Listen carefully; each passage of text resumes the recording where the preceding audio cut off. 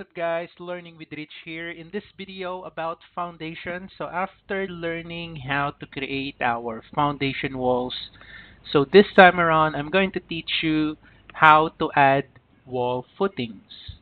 Alright, so before we start the wall footings, let me just uh, show you another tool that we can found on our view control bar. So on our view control bar, you have this tool that is called um, show crop region and then the partner of this one is crop view. Okay so as you can see if I'm going to click this one as you can see the bulb here is turned off right?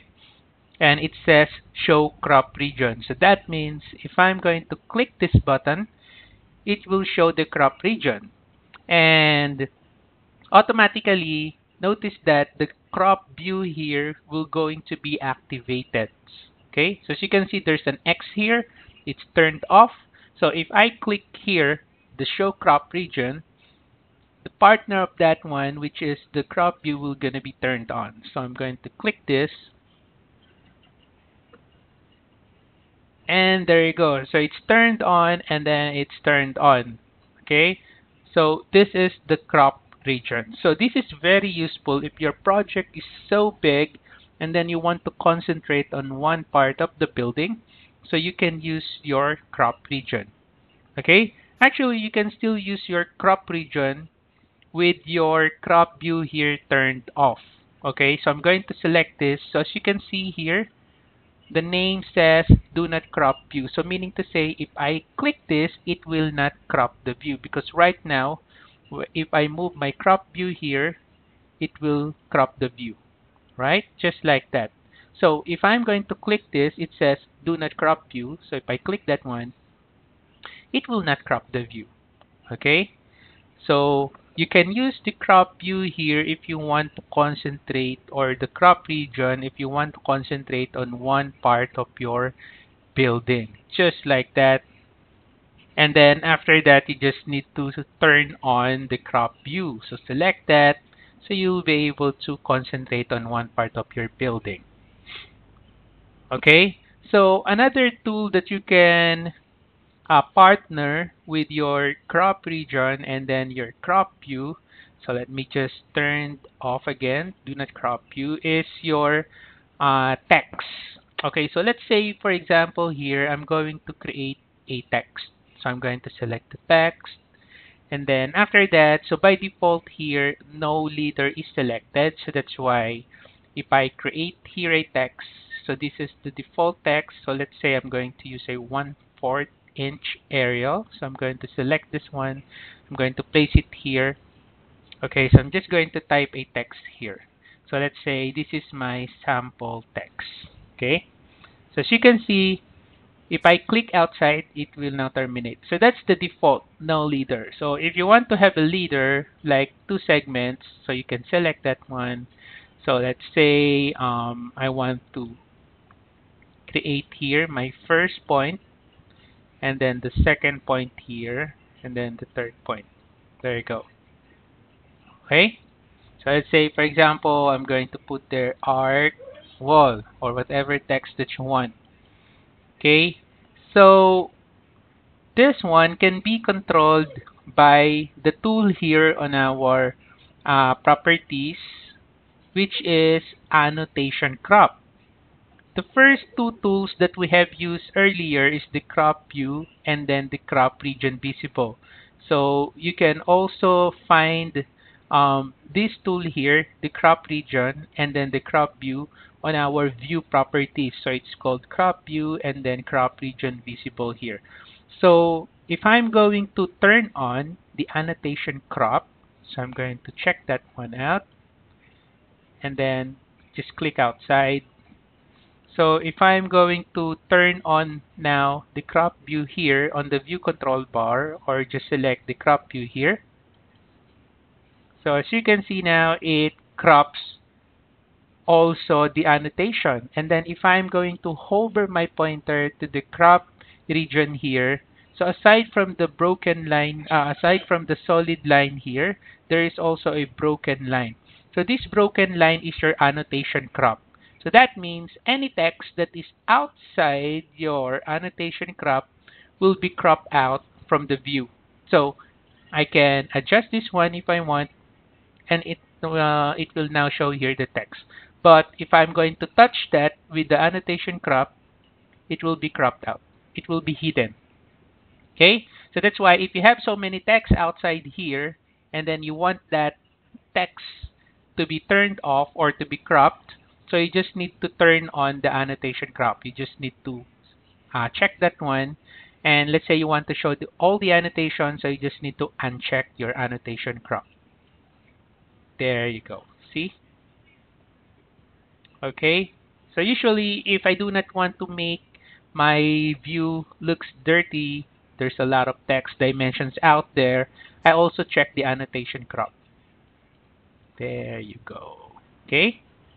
So remember, this is your crop region. It can crop your model elements and then this one is the annotation crop. Alright, so now let us go to our topic which is uh, wall footing. So I'm going to unhide this one and then I'm going to uncheck or turn off the crop view. There you go. So let me just delete the text that I just created earlier.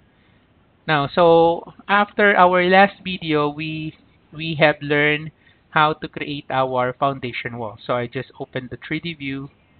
Okay, my laptop is so slow. So there's our uh, foundation wall. So this time around, we are going to put an element on our wall here, which is a wall footing. Okay, so to create a wall footing, what I'm going to do is going back to my level 1, I'm going to select here structure. And then there is an option here. There's a panel, foundation, and then there's our uh, wall foundation. Okay, so you just need to select the foundation wall.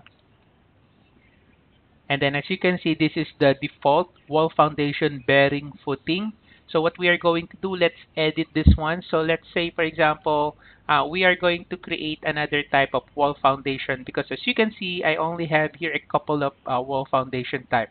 So what I'm going to do if I want to create a new type is I'm going to go ahead and select edit type. And then we are going to duplicate that. So duplicate.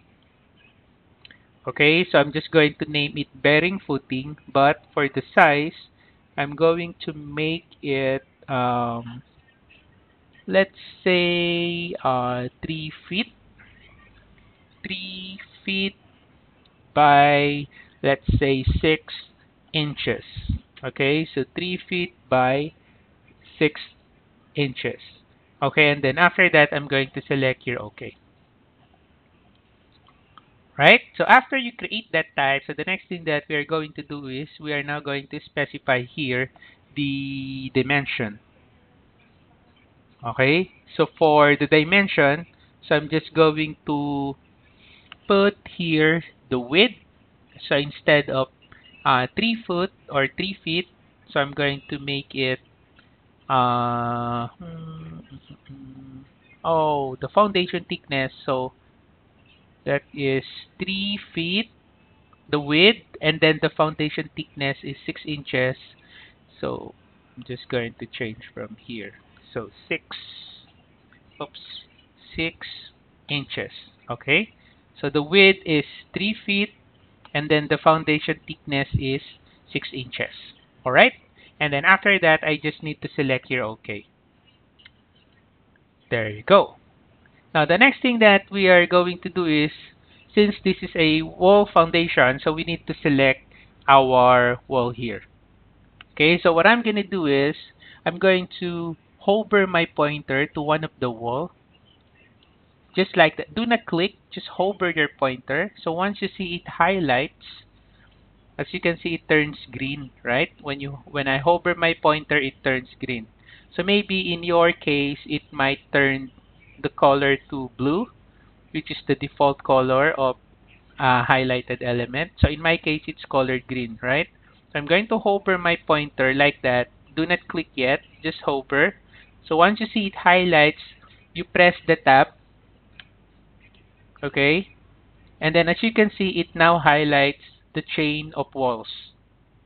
Okay, and if that is line, it will highlight the chain of lines. Okay, so let me repeat. So hover your pointer to one of the wall there, and then press tab once. Do not hold it, just press tab once.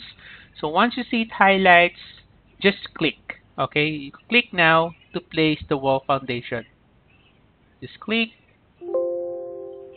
and there you go. So as you can see, it says that none of the created elements are visible in our structural plan. Okay, so that's okay. So I, I can't see it here on my structural plan. So what I'm going to do is I'll try to go to the 3D view, which is this one, and then let's have a look on our wall foundation. And there you go. Okay, so there's now our wall foundation here.